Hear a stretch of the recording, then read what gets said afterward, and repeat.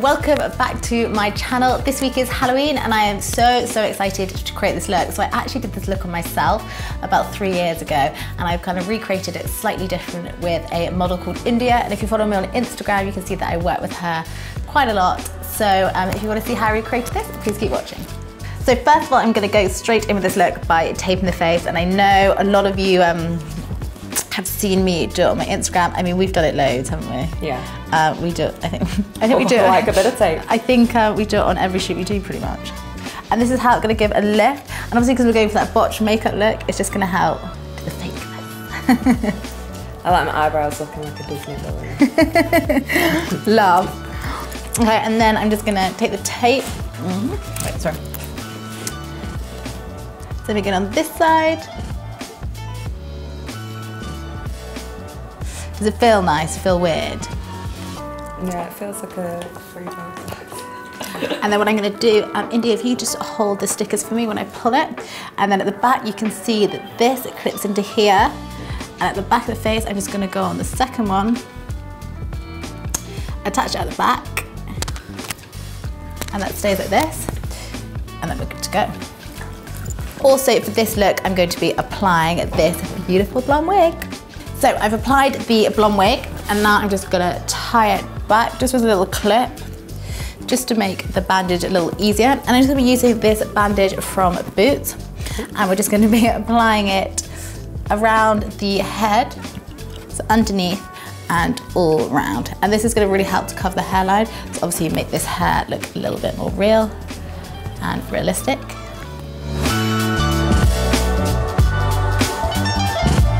I'm now taking a band. That's just me being like. I now just added a bandage and I just wrapped it around the head and around the neck. And this was something I just bought from Boots. I think it was like £1.50. But in a minute, in a little bit later, we're just gonna add a little bit of blood and that's just gonna help um, add to the look. So I'm gonna start this look by starting with the eyes. So I'm gonna uh, brush up India's beautiful eyebrows. I'm obsessed. You have the best brows in the world. Thank you. Um, so I'm just using the Clear Brow Gel by Bobbi Brown. You get told it all the time, yeah. yeah, and I would say when tashes are in for women, I'll have a fantastic tash as well. To fill in the brows, I'm going in with my favorite, favorite palette by Anastasia Beverly Hills. Um, you would have seen me use this a lot. And I'm just using a slanted brush by MAC.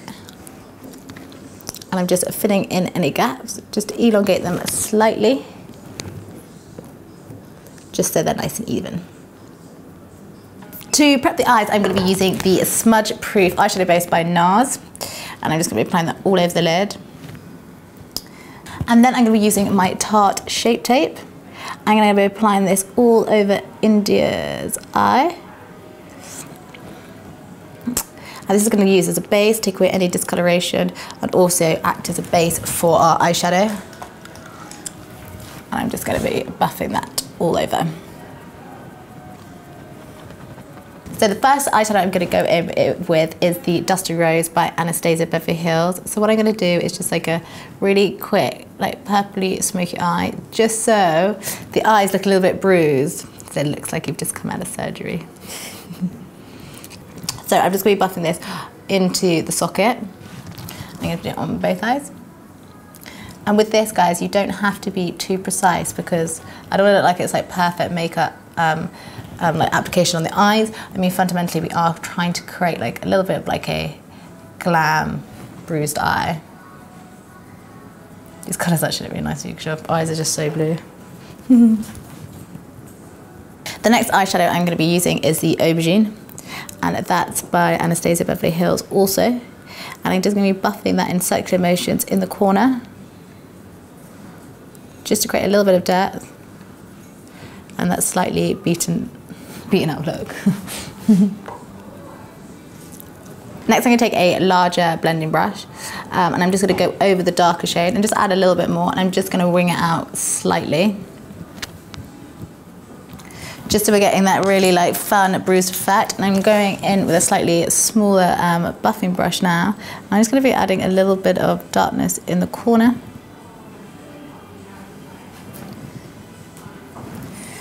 Just so it's starting to look a bit botched. Like I said, we don't want it like this perfect purple smoky eye. We do just want to keep it a little bit arty. I'm going back in with the shade Aubergine and I'm just taking it underneath the eyes. And then with my blending brush, I'm gonna buff that out underneath.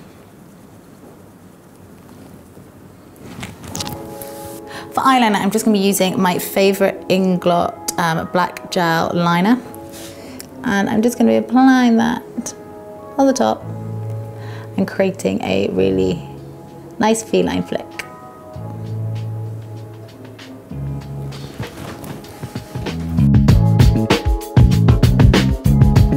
So next I'm just going to use my NARS Climax Mascara and I'm just going to put a little bit on before applying a few individual false lashes.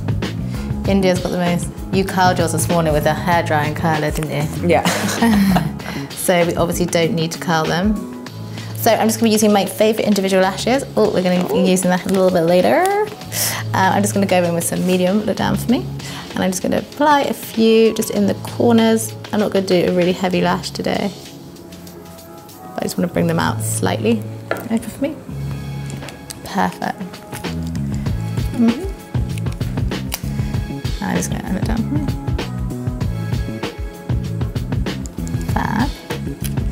I do love an individual lash. I can't do them. They're very hard to do on yourself, I'm not gonna lie. Yeah. I've tried to do them myself and I'm just so rubbish. I think they're a lot easier to do on other people, I'm not gonna lie. Ooh, so I've done about four medium ones. I'm going to be doing the same on the other side. For foundation, I'm just going to be using my Studio Fix. So I've mixed um, NW30 with NW20, and I'm going to be buffing that all over India's skin. Um, the reason I've used Studio Fix, obviously as it is Halloween, I do think you want quite a good coverage because you want it to last all night. Also, we're going to be putting blood and everything on top of it. So if I, um, a little bit of aesthetics, um, so obviously if you, um, if you do something like a tinted moisturiser, everything's just going to move a little bit. So I did prime the skin before we started and I used the Laura Mercier tinted, um, tinted hydrating primer, which I love. For concealer, I'm just going to be using my Shape Tape. I'm just going to be going under the eyes. I'm going to go a little heavier with the coverage, like I said on the skin, just because we are going to be applying um, eyeshadow and products on top of it. So I just want it all to stay and I just want something for the products and everything to stick to. So I'm going to be applying it underneath the eyes and also bring it down to the chin. To set the foundation concealer, I'm going to be taking my Huda Beauty translucent powder and I'm going to um, be just like patting it on top. I'm going to be using a little more than usual for the same reasons I said earlier because we are going to be working on top of this as a base. So I'm going to go back in with the um, shade Aubergine by Anastasia Beverly Hills. Um, and with my 217, I'm going to just bring the eyeshadow down. Basically, I'm going to be going under the eye socket.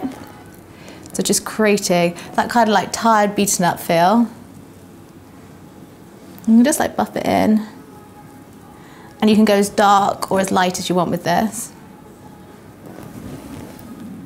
But I just want to create, and this just adds a little bit more scariness. You want to look, don't you? There's a mirror there, so she's like, okay, so I'm also going to be doing that on the same, on the other side. And also, a little trick is I'm just going to go around the nose because in a minute we're going to make it super, super.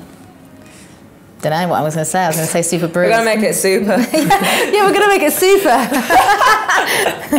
I'm now going to go in with the contour powder from Rodial. So the first thing I'm doing is I'm going to be contouring the nose. I basically want the nose to look fake. So I'm going to make it look super skinny. So I'm going to use the contour powder just with a uh, clean 217 at the side and we're just going to make it real skinny. So I'm just going to be using my cream contour by Huda Beauty. I'm going to be contouring the nose a little bit to make it look a little bit skinny. Just so it looks fake, basically. And now I'm going to be using the contour as well, this on the um, cheekbones. You can use a little bit more than usual, just so we get that really harshness and the cheekbones really come out. So now I'm just going to take a little bit of powder on the side of the nose to really make it look super skinny. Next to the contour, as you can see. And then we're just going to buff that powder out.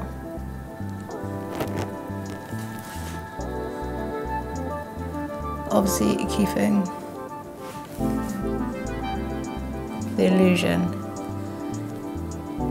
that we've got a really skinny nose. So next for this bit, I'm going to be using my Ben Nye liquid latex, and I'm also going to be using tissue paper that I have just literally ripped up. I'm going to put a little bit here. So just to demonstrate what I'm going to be doing, I'm going to be doing it all around the face. I can just show you to begin with. So I'm going to be doing a small line. I'll do a little bit here. A start at the top. So I'm just going to apply that with the brush, that's part of it. And I'm going to be taking my tissue paper, uh, just like tissue. And I'm going to just be placing it over the liquid latex. So basically the liquid latex acts as like a glue. And the reason I put tissue paper on it is to give it a little bit of texture. So when we put the blood on, it looks like it's all just been cut up and ripped. I'm going to be doing this all around the face.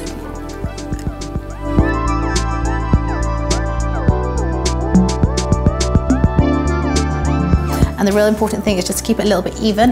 Obviously where the hairline is, I haven't really gone under the hairline, but I think I, it just shows that it's underneath the bandages, which I think we're just gonna look quite cool later when um, we add the blood. But right now, it's trial and error, honey.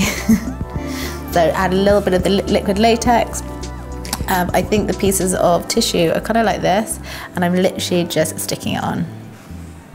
I like it. It's kind of like if you have a spot, you could just like put that. Oh my god, it. I know. This is a perfect look for anyone. His skin's not great. Just cover it up. Just put some cover it. Oh tissue no, yeah. Fab.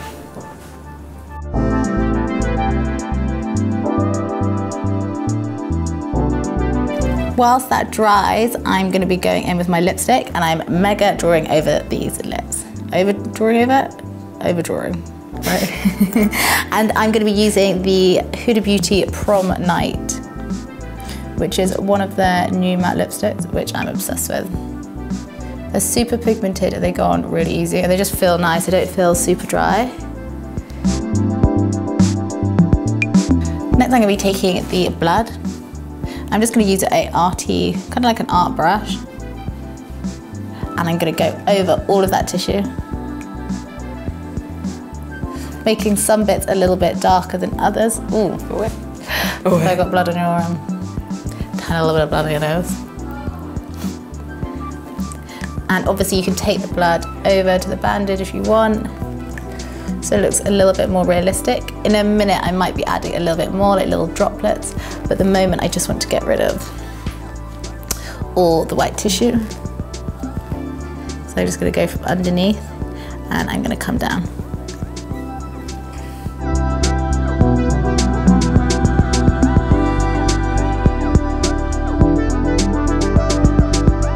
And then for the lips, I'm just gonna take a flat brush. I've dunked the um, brush in, um, in the blood.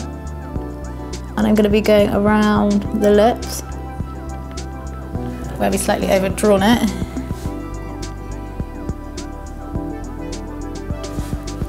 To make them look bloody and look like they've just been botched.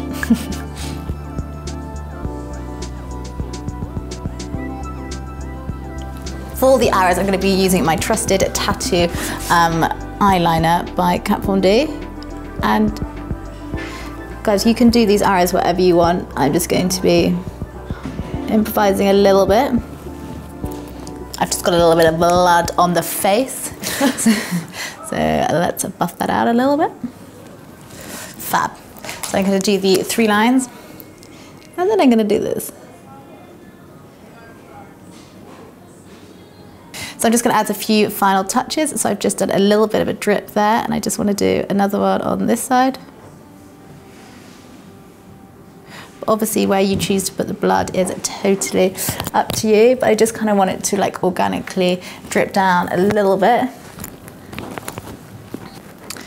And I'm also gonna add a little bit around the neck. Obviously because when I'm taking photos, you're gonna see it. And I'm just gonna put a little bit on my finger and just make I just don't want the band looking too clean. But at the moment, I'm literally just improvising. You guys can do whatever you want with this. I just made it look like it's bleeding a little bit from there. And then maybe just do a little bit the side of the mouth.